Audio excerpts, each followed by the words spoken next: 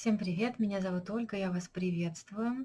Я хочу разобрать такую тему, как ретроградный Сатурн, и хочу объединить астрологию, дизайн человека и посмотреть, что конкретно может дать период ретроградного Сатурна в 2022 году, который начнется 5 июня и закончится 23 октября.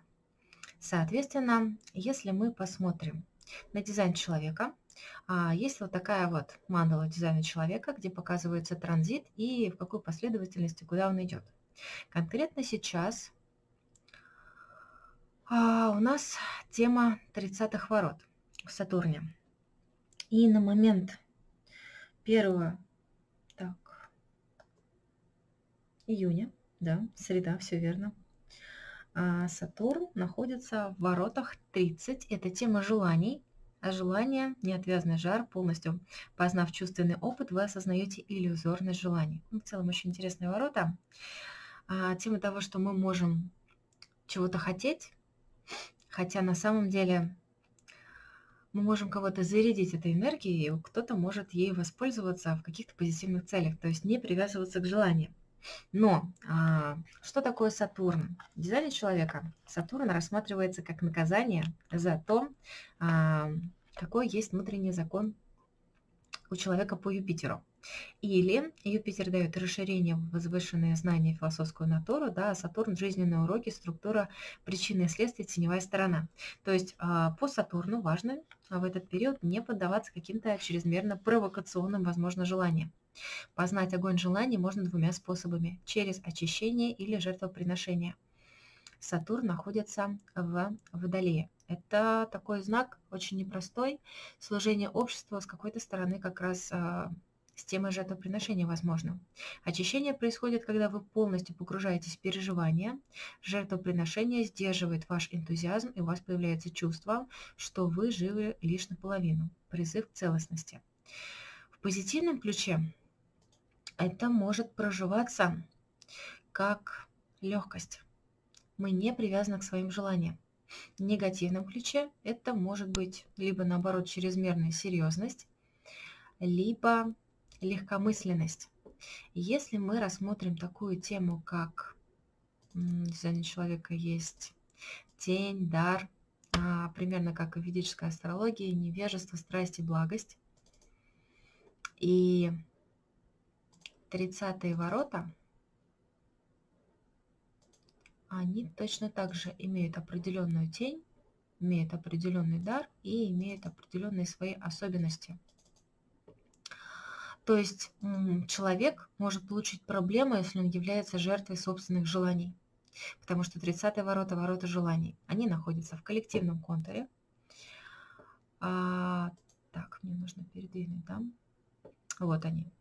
Так, мне бы как-то на мышку, вот, например, ручка, да, 30 ворота вот тут вот находятся, они связаны с нашим эмоциональным центром, они заряжают нас, в принципе, на желание, то есть определенная мотивацию к действию мы получаем, если мы чего-то хотим. Коллективный контур – это когда что-то направлено не на нас, а через нас эта энергия идет для всего мира. А, эта энергия пришла для того, чтобы человек другой увидел эту энергию, прочувствовал ее, возможно, но не для того, чтобы мы исполняли все свои желания. Это гигантская фабрика по созданию желаний. Если вы чувствуете эту энергию, скорее всего, вы испытывали хоть раз в жизни какой-то момент разочарования по поводу того, ну почему у меня так много желаний, и они не исполняются. Сила этих ворот может перевести третья мотивация, если она есть у человека – она встречается не так часто, она достаточно денежная, и если человек чего-то хочет, у него есть третья мотивация, у него в любом случае это получится. То есть а, человек говорит, например, я вот хочу работать в этом месте, но там по всем показаниям нет таких событий, что там можно работать. А происходят события, которые перестраивают Вселенную таким образом, что человек действительно через год, например, там начинает работать. Если вы чувствуете, что у вас а, многие желания исполняются, то вполне возможно, что может быть такое объяснение. У большинства людей такой комбинации нет. А, и это огромный поток желаний. Включая того, что это Сатурн, да, огромная планета, которая имеет огромное желание, и все люди, возможно, чего-то уже хотят. А, и в этом мире можно заполучить, пережить, испытать, ощутить и часто разочарование из-за того, что это не происходит. В теме теней есть подавленная и реактивная природа. Подавленная природа тени сверхсерьезный, состояние, когда человек активно подавляет желание, думая, что вообще ничего нельзя желать. Ничего нельзя себе напридумывать, загадывать, потому что это все равно не сбудется, потому что желание – это пороки. На самом деле этим человек блокирует часть своей энергии. Поскольку эмоциональный центр относится к моторам, моторы – это то, что заставляет нас двигаться, делать, это реальная энергия на что-то такое не в голове, да, а именно мы ее чувствуем в теле. В принципе, в центре солнечного сплетения – эта энергия не пришла для того, чтобы быть подавленной через вас. Ее функция в том, что через вас она воздействует на других людей, то есть вы, делясь своими придумками, желаниями, можете вдохновить другого человека. Как это может быть работать в позитиве? Например, человек, он по жизни мечтатель. А, возьмем абстрактный пример а, Уолт Дисней, я не помню, есть у него 30-е ворота или нет, но смысл в том, а, что это человек, который придумал киностудию, придумал Диснейленд и все остальное, да, он зарядил вот этими желаниями других людей. И это на самом деле очень круто. То есть примерно так это может работать. Сколько времени прошло, а дети до сих пор смотрят диснеевские мультики. И важно понимать, когда вы слишком серьезно относитесь к жизни, у вас сразу целая пачка моральных запретов, каких-то предписаний и ограничений естественных побуждений приведет к взрыву, то есть вы потом просто взорветесь. Либо у вас, скорее всего, такой аскетизм совершенно необоснованный, насилуя себя, и человек может соскочить в реактивную природу тени. А реактивная природа тени потворствующей, там, где человек не сможет справиться вообще ни с какими ограничениями. Он просто тонет в своих собственных «хочу» и потворствует им очень сильно. А учитывая того, что это все-таки Сатурн, да, он может давать определенный аскетизм. И в целом, если человек будет очень сильно стремиться к каким-то желаниям, он будет как бы получать по шапке от судьбы или какие-то определенные знаки. То есть определенная тема здравого сдерживания собственных желаний, понимания, что сейчас, например, не время. А если возникает первое или второе чувство, да, сверхсерьезности или наоборот, когда человек не контролирует свои желания, можно. Выберите желание, сядьте и желайте его весь день осознанно. Сделайте доску визуализации, пропишите, представьте его во всех красках. Ждите чего-то очень активно. Вот, то есть очень важно это все прописать, прожить на состоянии тела. Вот, другой момент – осознайте, что это желание может никогда не сбыться. Сперва вы очень сильно чего-то хотите, а потом отпустите это. На самом деле я вчера такое прожила, совершенно случайно. А, я прям прочувствовала такое ощущение, что я знаю, что будет, я знаю, что к чему приведет, и что-то меня это так накрыло. Но на следующий день прям отпустила. Вот. А, и вот такая вот практика, она позволит убрать привязку а, к вот этой теме. Вот. Значит, а, при этом 5 а, июня, да, мы видим Сатурн ретроградный в Накшатре Тхаништха, в принципе, он себя там чувствует комфортно. Можно успокаиваться как? Можно успокаиваться, например, под звуки барабанов. Один из вариантов – это достаточно музыкальная Накшатра, созвездие, в котором находится Сатурн. Вот, и многие, может быть, радовались, как я, когда Сатурн вышел из Козерога и перешел в знак Водолея, полегче все-таки. Все-таки Сатурн в Козероге – это достаточно тяжелая позиция, Сатурн, такая медленная планета, находится в земляном знаке, который тоже такой достаточно медленный, хотя он считается подвижным, но он замедляет какие-то определенные процессы.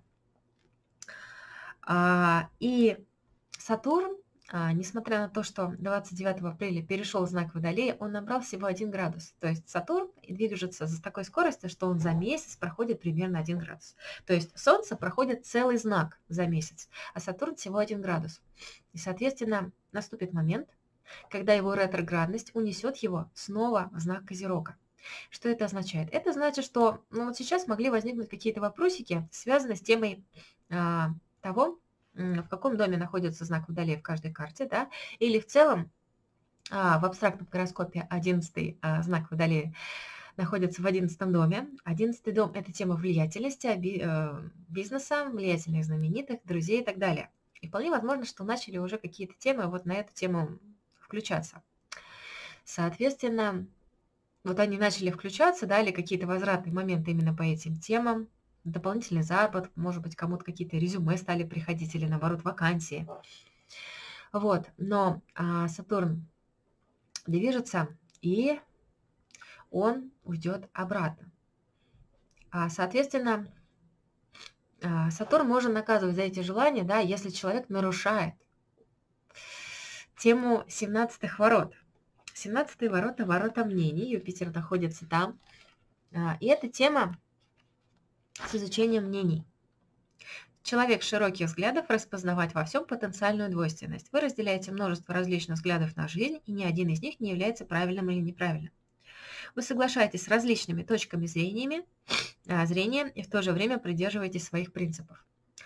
Если человек действительно вот этому соответствует, то у него не будет никаких проблем, а, что его наказывают за желание. Соответственно, если человек не обладает широкими взглядами, 17 ворота находится в Аджне. Аджна – это центр, отвечающий за наше мировоззрение, за какие-то идеи, за мыслительные процессы. И 17 ворота мнений, собирать мнение коллективно. Это энергия, которая проходит через человека, и он эти мнения распространяет везде. Я это знаю, потому что у меня солнце в 17 воротах. Извиняюсь, что-то у меня нос даже заложил от радости.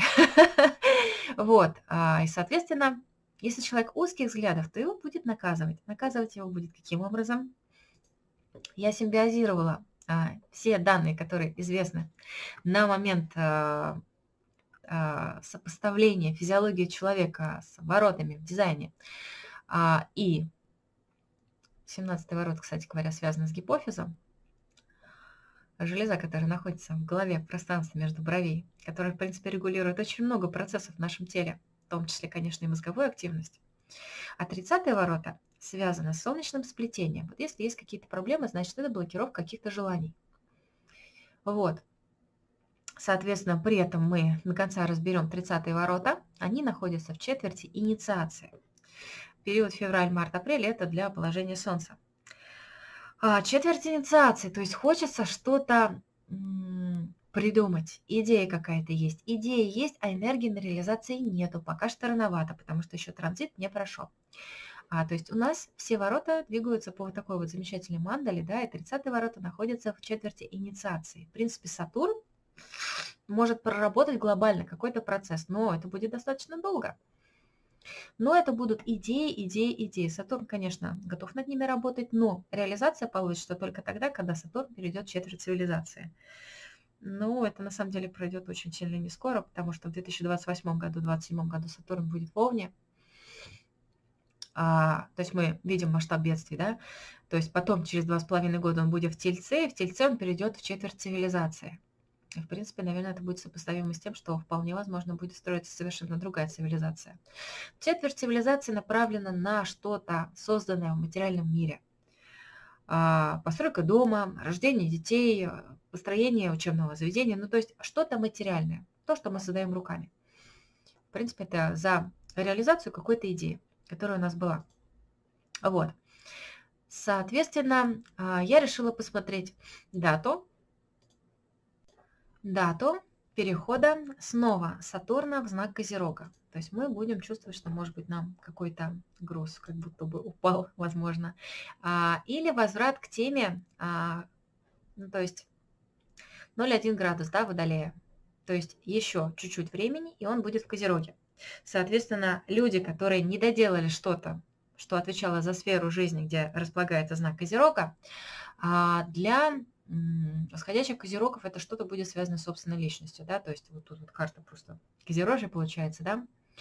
А, началась тема продумывания какого-то заработка, и тут хоп, Сатурн уже ничего не успел сделать, да, и, грубо говоря, снова наличное слово, у козерогов может быть депрессия на самом деле. Важно принимать все, что происходит, и тогда депрессии не будет, и пить достаточное количество воды. А, и какие-то внутренние, то есть первый дом, дом головы а, для козерогов, а, внутренние какие-то страхи могут обостриться, да, или вернуться для того, чтобы человек проработал их и позволил себе, грубо говоря, жить и наслаждаться жизнью. Или возврат ну, к каким-то идеям, каким-то мыслям, каким-то ситуациям. А к теме родителей, в принципе, тоже, да, тут получается, что Сатурн направляет и первым домом, и вторым домом, второй дом – родительская семья. Вот, а, например, а, для восходящих овнов это будет возврат из 11 дома в 10, да, тема работы. И, соответственно, это 11 июля. А, например, для кого еще? Для восходящих львов, например. Это у них Козерог располагается в шестом доме, связано со служением, с обязательствами, с долгами, с болезнями, со здоровьем, с победами. А то, что они не успели доделать, какое-то служение проявить, да, а Сатурн может наказать в плане здоровья. Вот, соответственно, они, может быть, подумали о теме отношений, потому что у них а, Сатурн в Водолее попадает в седьмой дом. Соответственно, они подумали, подумали, опа, вернулись обратно, что-то нужно доделать, доделать, а потом уже к отношениям перейдем. А вот примерно так это может работать. Ну и для каждого восходящего знака это может быть немножко по-разному. Например, а, восходящий рак, у них четверочка в первом доме, получается, что Козерог вернется к ним седьмой дом, да, уйдет из восьмого. А восьмой дом – это уже погружение в какую-то глубину процессов, закадровое лидерство, внезапные события, но Сатурн в восьмом доме, он может давать долголетие.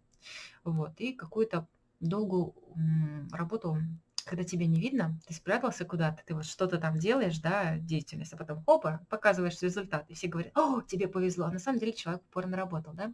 Но, возможно, в отношениях какие-то не были проработки, поэтому вот с 11 июля может возникнуть эта тема. А, например, если а, десятый знак попадает в четвертый дом, получается 9, 8, 7, исходящие весы. Вот, у них а, может быть возврат к теме недвижимости. То есть у них как бы Сатурн уже перешел в пятый дом. Возможно, кто-то мог задуматься о детях, а тут э, что-то связанное с домом, дома что-то случилось. То есть э, мы как бы заранее не можем предугадать, что конкретно будет, если говорить в общем, да, не на конкретного человека, где известно все, периоды и все остальное. Вот, то есть будет определенный переход к тому, что мы должны что-то доделать. Ситуация может быть непростой, да, но это не Сатурн в падении, это как бы естественная обитель а, Сатурна. Вот, соответственно, на 11 июля Сатурн будет располагаться уже не в 30-х воротах, а в 49-х воротах. Очень хорошо, что в шестой линии, а не в какой-то другой, потому что это достаточно позитивная активация. 49-е ворота вообще описываются достаточно кровожадными, потому что они за революцию, они за бунтарство. И это тоже находится в а, эмоциональном центре, то есть тоже центр солнечного сплетения.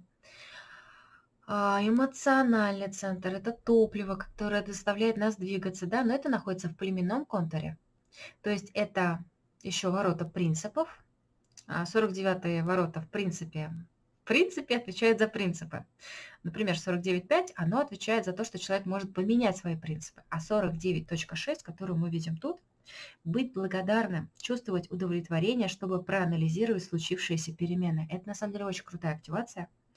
После перемен дальнейший рост возможен только тогда, когда каждый приспособится к новым обстоятельствам несмотря на то, что Сатурн ретроградный, он что-то нам в жизнь будет преподносить кармически, да, карма – это причины и следствия, то есть мы что-то делали, и мы получим результат. Тот получит положительный результат, тот получит не совсем положительный результат.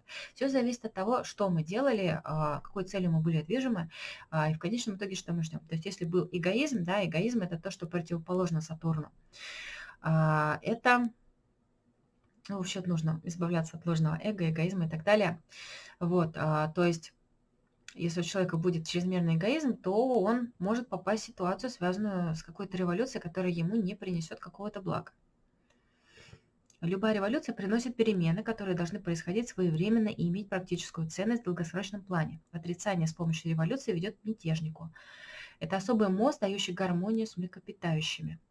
То есть у кого-то может быть тема, связанная с какими-то фондами а, даже.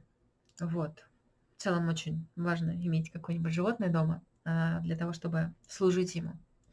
Вот, а, и это у нас уже получается июль, 11 июля. Вот. Так, а, дальше. 49 ворота находятся все в той же четверти инициации, да, и они связаны Снова с темой солнечного сплетения, да. То есть, в принципе, энергия на то, чтобы проявлять какие-то действия, хотя тут вот в чакральной карте мы, может быть, этого не определим, да. Плюс, в принципе, сам по себе Сатурн ретроградный может давать момент того, что есть страхи за материальные какие-то аспекты жизни. чтобы было что поесть, чтобы было что попить, чтобы была крыша над головой. А, и человек может быть зацепленный за материальность. А, и тут очень важно найти баланс между тем, что мы зацеплены за материальность, у нас как бы человек в любом случае материальный. Есть, конечно, история о том, что есть люди, которые живут 800 лет, они где-нибудь в Гималаях там а, медитируют и так далее. Но таких людей единицы, меньше одного процента, я думаю. В большинстве своем человек все-таки материальное создание, да, которому в любом случае нужен воздух, нужна еда, нужна вода, и без этого он может не прожить. А, но важно не быть сильно зацепленным, что это первая основа, что первая причина, а, что человек рожден для того, чтобы есть, что должно быть что-то, что его будет мотивировать на действие. И, соответственно, многие люди остаются на работе, потому что они не понимают, как можно жить без работы, даже если она им не нравится. А, и в идеале, конечно, когда человек занимается тем, что ему нравится, тогда у него никаких проблем с вот этим вот самым Сатурном не будет.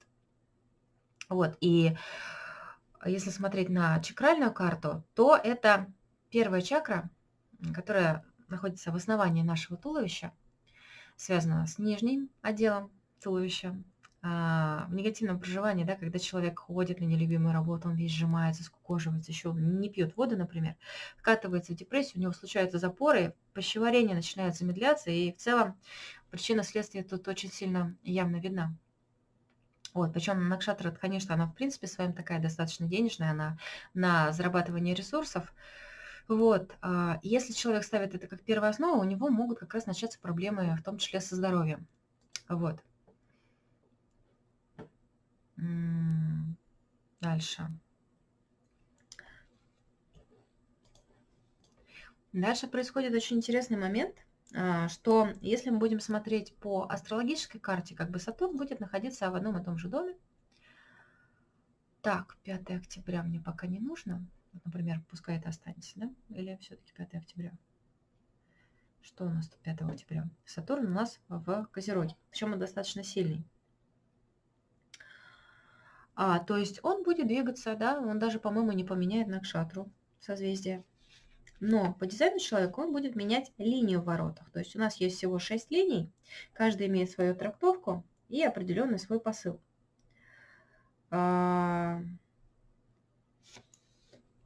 Например, 23 июля Сатурн перейдет в 49 ворота в пятой линии ощущение, чтобы перемены были к лучшему, прислушайтесь к внутреннему голосу. Видя необходимость перемен, вы поддерживаете других, чтобы заручиться их согласием или для того, чтобы их контролировать. Но это может быть также тема того, что человек может резко поменять свои какие-то принципы, вот, и может сделать что-то вопреки себе. Тоже как бы с какой-то стороны может быть на эмоциях. Вот. Дальше. В принципе, проверка принципов на прочность. Готовы ли вы к чему-либо. Дальше. 5 августа а, Сатурн поменяет 49 ворота в пятой линии на четвертую линию. Подготовка, накопление энергии, создание стимулов для радикальных перемен. Энергия движется наоборот, и поэтому происходит такой дисбаланс определенный. Четвертая линия говорит о какой-то команде людей круг, опять же, семья, да, сам, а, вот если мы смотрим 49 ворота, да, племенной контур, принципы внутри какого-то сообщества людей, которые объединены общими ценностями и ресурсами. Это может быть семья, это может быть государство, это может быть э, коллектив на работе, то есть вот в пределах каких-то, может быть, единомышленники, да, которые вообще находятся друг с другом не рядом, но они э, привержены общей идее, у них общие ценности жизненные или что-то в этом духе. Дальше. 18 августа. 49.3 в Сатурне. 49.3 – это уже тема проб и ошибок. Находить поддержку других людей во время перемен. Информировать. Во времена потрясения требуется согласие каждого, чтобы подготовиться к переменам. Вот. Дальше. 20, 30 августа 49.2. Да, тут Юпитер ретроградный, ретроградный он как раз на тему мнений. Интересный процесс. Прям по моему солнышку будет ретроградить. 49.2. Проявлять твердость, точно представлять результаты перемен. Признавая, что перемены необходимы, вы либо придерживаетесь твердых принципов, либо поддерживаете перемены ради перемен. И 14 сентября 49.1. Всему свое время беречь энергию, пока не наступит ясность. Вы видите много возможностей для перемен, но понимаете, что следует ждать благоприятных обстоятельств. То есть, в принципе, такой период, который сначала да, энергию того, что благодарность, да, потом перестановка какая-то перетрубаться, потом подготовка накопления энергии, потом находить поддержку, потом проявлять твердость, э, представлять эти результаты, а потом беречь энергию. В идеале должно быть, конечно, наоборот. Но мы возвращаемся к каким-то старым своим паттернам, проблемам, или даже не проблемам, а идеям, а, что бы мы хотели изменить в своей жизни, какие у нас реально ценности есть. А, если кто-то хочет переехать в другую страну, да, какой там менталитет. Вот, а, дальше. 5 октября, да? Почему я взяла эту дату? Потому что Хочется посмотреть транзит, когда Сатурн сменит не только линию, но и ворота. Ворота длятся примерно 6 градусов, и они имеют каждую свою трактовку, но 6 градусов определены определенной темой. А, и Сатурн перейдет в 13 ворота. А 13 ворота – это тема содружества. Это тоже так. Это очень, на самом деле, позитивная тоже активация. Ну, как бы не тоже, да, но она позитивная. Слушатель братства людей. М-м-м. Тринадцатые ворота. Так. Сейчас мы их найдем. Вот они. Они находятся в центре G, центр безусловной любви, центр, связанный с кровью, а, сердцем, поиск вот этой вот любви, да, душа наша. В дизайне человека это магнитный монополис, с которого формируется потом душа, и изначально оттуда все пошло. Вот. Все мы должны стремиться к общей цели – обогащать человеческий опыт во всех областях в различных проявлениях. Тринадцатые ворота, они связаны с опытом прошлого, какие-то традиции, которые накоплены внутри опять же, государства, семьи или поколения, или чего-то такого, когда, например, семейный рецепт передается с поколения в поколение, или просто люди, например, работают в одной профессии и передают опыт тоже как бы, ну не то чтобы с поколения в поколение, есть такая тема наставничества, когда ты устраиваешься на работу, у тебя есть наставник, он тебя учит, а он для этого получает дополнительную денежку, и ты как бы перенимаешь его опыт для того, чтобы использовать его дальше. Человек, например, уходит на пенсию, получается смена поколений путешествии по жизни каждому необходим опыт принятия, признания и признательности. Притягивает тех, кто страдает от одиночества и стремится быть услышанным. Вот, то есть это энергия, которая хочет быть высказанной, в принципе. Вот, и а, это часть лидерских каналов и лидер, смотрящий в прошлое. А, то есть на основании прошлого а, делать какие-то выводы. Вот, 13.6 на момент 5 октября Толкование глобального братства. Искать лучшее во всех и во всем. Вы настолько расположены к людям, что для каждого человека надеетесь на хороший исход в жизни. Тоже достаточно благоприятная активация. Вот. Если мы смотрим карту, вот так, то ретроградный Сатурн на этот день будет с Луной – Юпитер будет находиться в рыбах, Меркурий уже в Деве, Венера в падении, Солнце в Деве. М-м-м. Кето и Рахо, Рахо в Пхаране такой сексуально неудовлетворенный, а Марс в Мригашере достаточно идейный, подвижный, легкий, но пока ему сложно двигаться с места. Кету Свати говорит о том, что партнерство строить легко, но те партнеры, которые не нужны, будут отваливаться сами. А, солнце в хасте говорит о том, что нужно своими руками помогать людям любым способом, да, можно сделать массаж, можно читать по рукам, можно а, делать какие-то практики духовного характера, и они будут приносить быстрые результаты. Венера в хасте, ну вот как бы потенциал, да, на работу с женщинами, Венера не удовлетворена, она себя не очень хорошо чувствует в Деве, очень важно женщинам не зарываться, не критиковать что-либо, но будет определенная такая тема, что хочется все продумать, хочется все проработать. Да, когда Венера так сильно ментально напрягается, она теряет свою краску жизни. Вот, а Меркурий будет наоборот, очень хорошо себя чувствовать, потому что он будет находиться в знаке экзальтации. Вот, то есть наш интеллект будет работать на полную катушку. Ну, пока в одном градусе он пока набирает обороты, да, но он быстро движется. Вот. То есть э, в прошлом году ретроградная Венера была в другом месяце, а тут она получается в октябре. Вот, и тут у нас еще Юпитер тоже до кучи ретроградный. Ну, то есть, в общем и целом, такая картинка. Вот. Шестой дом отвечает за болезни. И если человек что-то руками делает не то, то будет не очень позитивный момент. Марс нам не дает опасной истории сюда, но Марс очень захочет высказаться. Но по Мригашере он не сделает это как-то опасно. Итак, поехали дальше.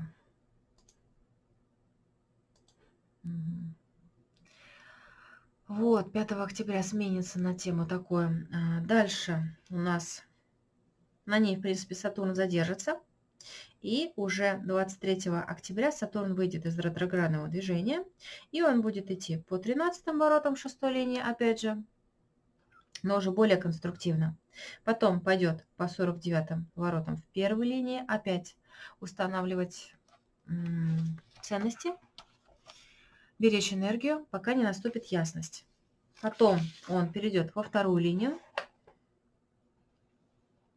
уже в конце ноября, проявляет твердость, точно представляет результаты перемен. Потом он найдет поддержку других во время перемен, а, накопление энергии и создание стимулов для радикальных перемен, потом изменение каких-то принципов и быть благодарным. Вот. То есть, например, 10 э, ноября Сатурн в 13 воротах. Ну да, и все. Вот. То есть, как бы с точки зрения ведической астрологии, картинка особо сильно не изменится. То есть Сатурн будет прорабатывать эту тему. Но в дизайне человека все достаточно более тонко получается.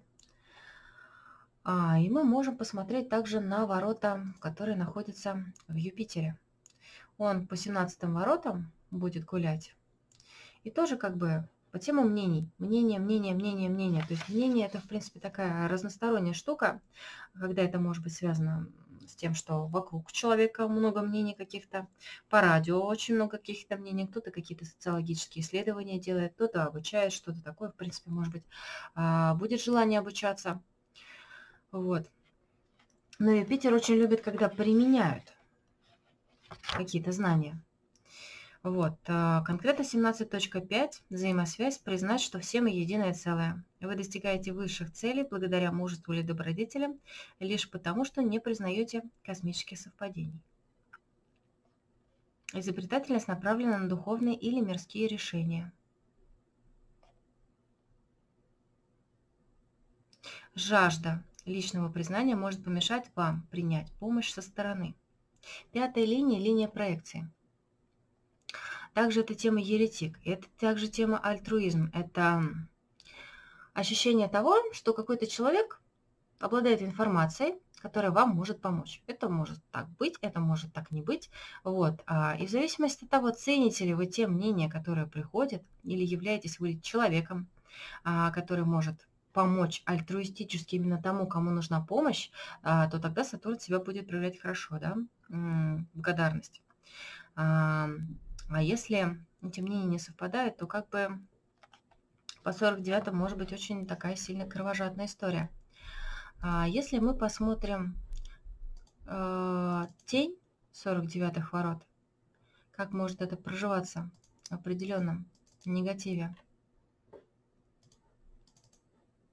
то это жертва эмоциональных реакций. Это справед... Э, вообще 49-й ворот. Это про справедливость, ощущение несправедливости. Такие определенные весы.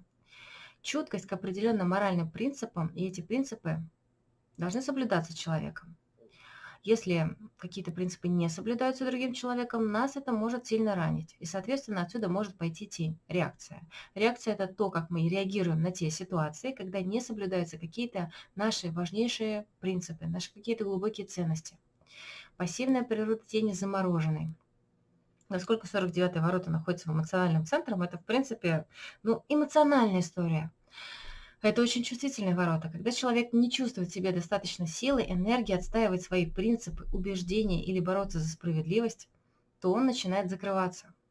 А, лучше я вообще ничего не буду чувствовать, чем все время это буду чувствовать, и мое сердце будет развиваться. А, человек может смотреть ролики, как плохо обращаются с животными. А, у человека даже может подниматься температура от таких просмотров – и может не выносить такой чувствительности. В некоторых случаях люди выбирают просто заморозиться. Лучше я вообще ничего не буду чувствовать, в том числе и радость. Вначале ты этого не знаешь. А, кажется, что ты защищаешь себя от тяжелых эмоций, но по факту ты замораживаешь все. Отсутствие какой-либо реакции. Реакции просто нет. А, может быть, сопоставимо с тем, что все вот эти вот а, чакры, да? Если солнечное сплетение мы рассматриваем, это манипура чакра. Выше нее находится аджна. Аджна отвечает за сердечную чакру, за тему благодарности, любви, принятия. А если человек замораживает свои эмоции, идет уже заморозка его, пищеварение с какой-то стороны, он не переваривает то, что происходит. И это может заблокировать сердечную чакру, то это может привести к депрессии, к проблемам с сердцем в том числе. Реактивная природа тени отвергающей. Страх быть отвергнутым толкает человека на то, чтобы постоянно всех отвергать, посылать, отмораживать. Нормальные отношения возможны только в том случае, если он видится редко, потому что близость для него непереносима. То есть, по сути, это тоже уход от чувств, потому что можно отвергнуть и не чувствовать никаких неприятностей, просто потому, что рядом с тобой никого не осталось. Две тени стремятся к одному, но каждый идет своим способом. Что можно сделать? Можно вспомнить какую-то ситуацию, когда вы эмоционально не отреагировали. Отреагируйте сейчас. Проживите эту ситуацию заново, эмоционально выскажите все и сделайте это чрезмерно, до апофеоза. То есть смысл.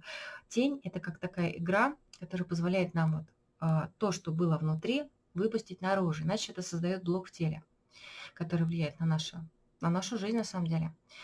Здоровье, зависли, подавили, не сказали, зажали, замялись. И отреагируйте сейчас, выразите, проговорите. Эта практика отреагирования эмоций очень полезна.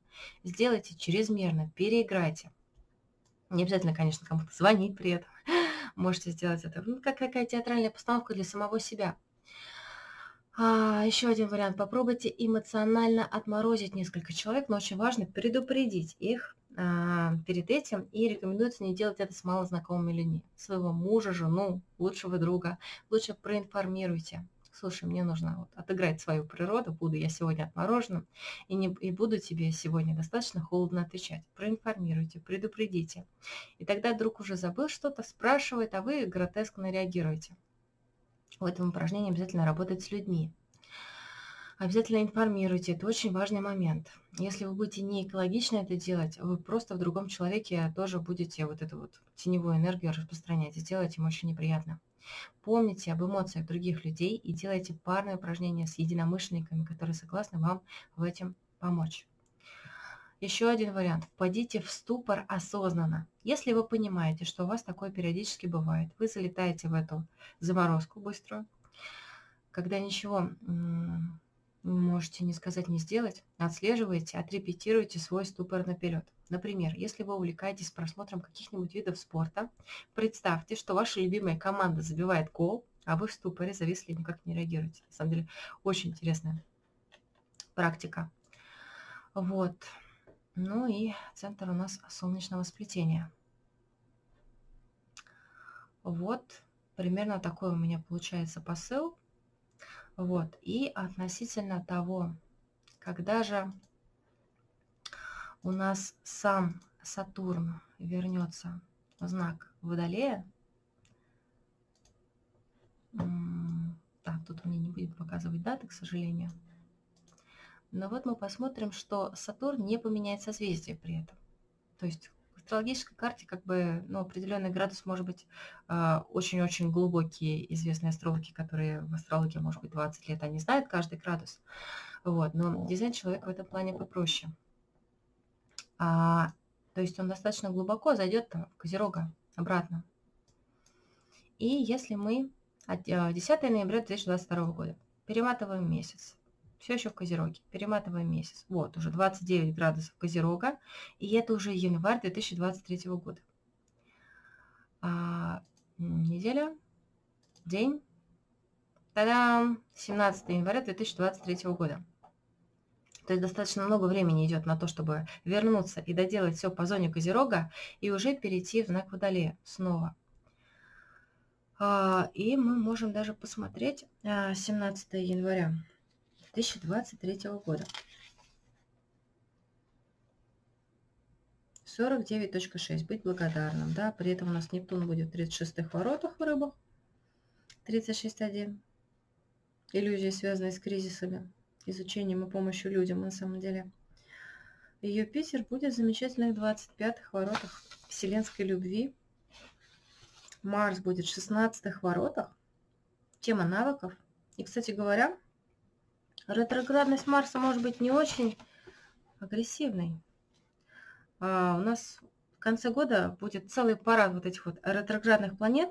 То есть мы будем доделывать что-то, что мы не доделывали. Я на самом деле очень сильно опасалась Марса, но поскольку Марс будет переходить по таким воротам, получается, что он будет делать это в знаке Тельца. Он будет ретроградным в конце года. Но, в принципе, знак Тельца еще и борьба за ресурсы, которая может давать определенную импульсивность. А весь ноябрь уже Марс будет ретроградным и с 30 октября. Но Эту энергию можно очень сильно прожить в позитиве, потому что 45-е ворота – это, в принципе, ворота короля. Тема заработка, тема, связанная с речью, тема, связанная с материальной энергией.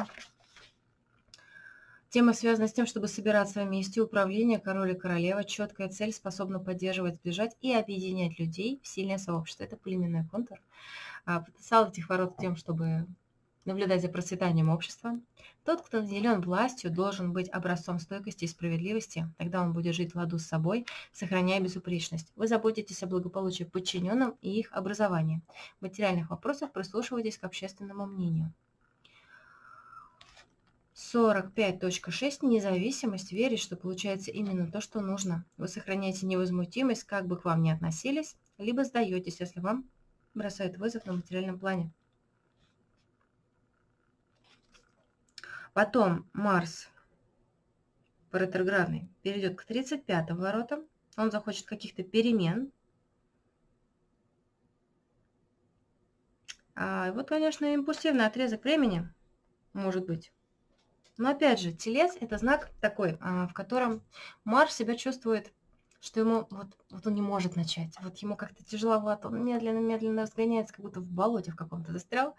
А, то есть он может долго работать над какой-то идеей, потому что знак Земли, в принципе, себя чувствует там неплохо, да, но для активных действий он м, не так, чтобы сильно им способствует, но зато он там достаточно спокойный и миролюбивый.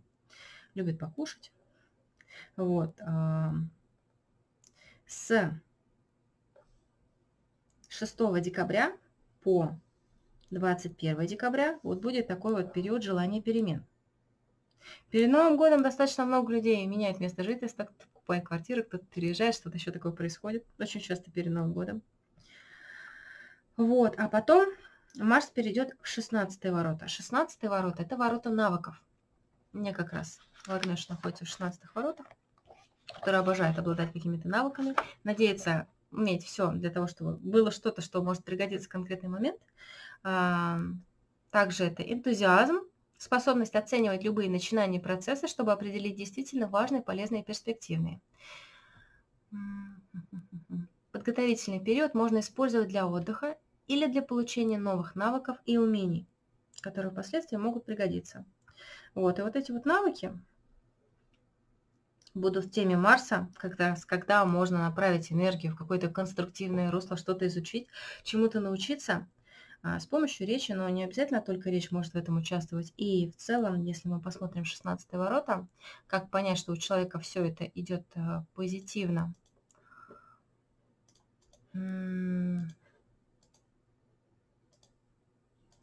Так. Вот, 16 ворота.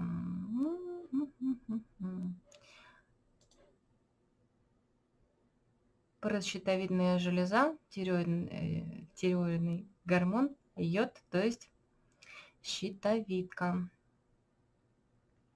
гормоны могут меняться, да, щитовидка очень такой интересный орган, который отвечает за большое количество процессов, но никто особо сильно не заметит то, что с ним что-то не так, пока не начнет сбоить все остальное, за что он отвечает. Как можно выгуливать 16 ворота? Тоже очень интересная тема. Я вернусь к Кале. А, и сейчас у нас... Так, ну, во-первых, мне, конечно, нужно вернуться. Вообще, наверное, вот, что я сделаю. Не то, не то, не то. Так, Меркурий, помоги. Рук. Так, ну конкретно тут их нету, да? Тут 20 Можно было бы построить транзит на них. Наверное, я сейчас это и сделаю, да? То есть декабрь. Ох, какой у нас интересный будет декабрь. Так. Марс. Марс, Марс, Марс. Мун. Вот, например, я построю. Вот, например, если мы посмотрим транзит на 22 декабря 2022 года. Ой, какой замечательный транзит. Чаша любви. Потенциал-то очень крутой. То есть, может быть, ретроградного Марса не стоит опасаться. Тут он 16.6. Но мне было интересно не только это. 16.6. Пересмотр. Реалистично воспринимать цели. Вы либо видите вещи такими, какие они есть, либо суетите, чтобы оправдать чужие ожидания, теряете ясность. Классная линия. Юпитер в 25-х воротах. Третья линия. Ну, тема чаши любви, безусловно, любовь, любовь ко всем толерантность приспособление, спокойно принимать неожиданные события, сохранять самообладание. Когда что-то идет не так, как надо, вы либо принимаете исход дела, либо впадаете в отчаяние. Уран во вторых воротах надолго. Тема поиска направления, да, поиска направления, в принципе, по жизни, куда направить свою энергию. Так, Плутон тоже бы в теме ограничений. Какие-то ограничения, которые человек пытается понять, в чем эти ограничения, не может этого понять. Меркурий 61 дает нам инсайты, Меркурий в Козероге получается, но меня интересовала Венера, Венера в 54 54 тема амбиций, с какой-то стороны это тема желаний, а в этот день может быть хорошо, например, опять же, какое-то обучение начать или, в принципе, реализовывать какие-то свои амбиции, поверить в себя. Так, 54 ворота, это у нас получается декабрь,